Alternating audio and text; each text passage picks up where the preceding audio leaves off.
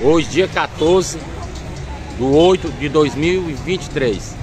Evandão de Itapoca. Bom dia a todos. Vim aqui na farmácia básica pegar meus medicamentos hoje. E foi feita uma licitação de 19 milhões de reais para comprar de medicamento. Sequer tem AS e dipirona. Não tem nem AS nem dipirona aqui na farmácia básica. Popular aqui de Itapipoca, aqui no Ceará.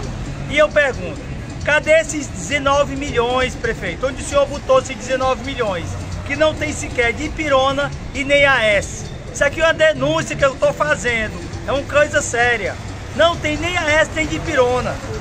Isso é uma vergonha. Cadê os 19 milhões que está no portal da transparência que o senhor pegou para comprar de medicamento? Não tem sequer AS e nem, e nem Ipirona. Recebi só o Caverdilol.